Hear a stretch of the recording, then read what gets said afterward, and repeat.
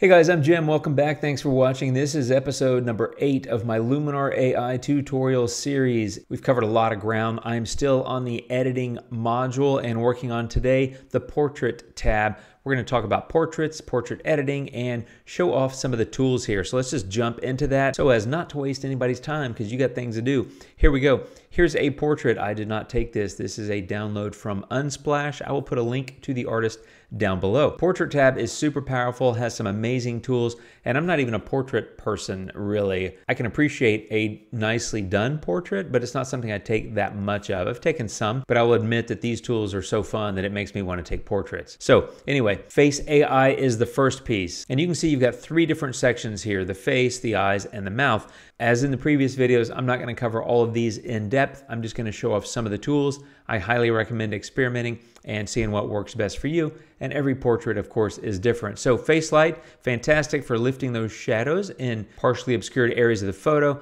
You know, just be careful again, make it natural as, as you can. Slim face, as you can see, kind of compresses. To be clear, I'm not going to imply that this person needs any of the edits that I'm making.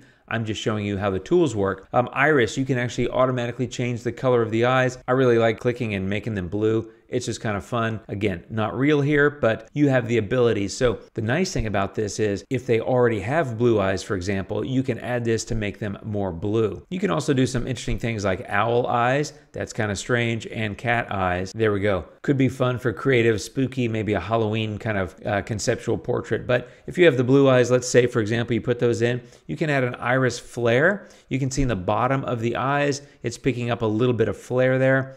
You can enlarge eyes, and the intent here is not to make a cartoonish portrait by enlarging eyes, but what it does do is if somebody's slightly squinting or something, it can help open those up to make a better looking portrait. Eye whitening works great, and you can see the cool thing about this tool is it's picking up both eyes. The one eye on the right hand side of the photo is a partially obscured by her hair, but yet the blue eye went in just fine and the eye whitening is picking up there a little bit as well. Eye enhancer gives you a little bit of crispness, what I consider clarity in the image, red eye removal, dark circle removal, things like that. And then of course in the mouth, you can adjust the saturation, redness, things like that, and teeth whitening is there as well. So again, that looks terrible. That's a completely fake edit, but I wanted to show you how the face AI tools work it's really powerful. There's a lot you can do, and I recommend, as I said before, every photo is different. Experiment a little bit, see what works best for your photo. Skin AI is the next one, and this one basically allows you to do a little bit of skin smoothing. So as you drag this to the right, you can see that it's really softening up her skin overall. There's the before,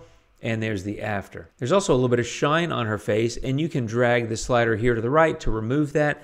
I think that's great because even in a well shot where you're managing the light well, even in a well shot photo, you sometimes will get a little bit of shine. It does a great job of taking that out.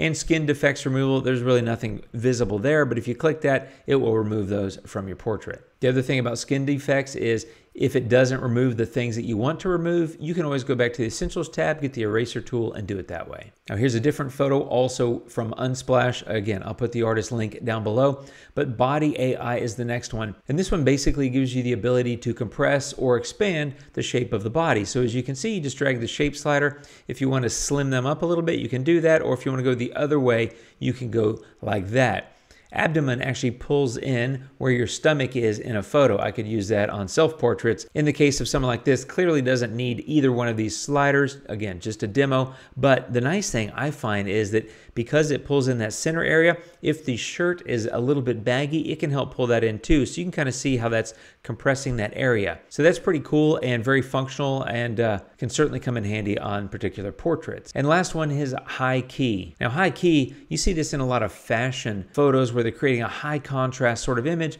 Let me just show you. It's kind of desaturated. It's very high contrast. The blacks and the dark parts are getting kind of dark. The, the brighter parts are getting brighter. You've got standard high key where you can just adjust there and then dynamic. And I recommend just experimenting. You can also move the blacks around, brighten or darken them.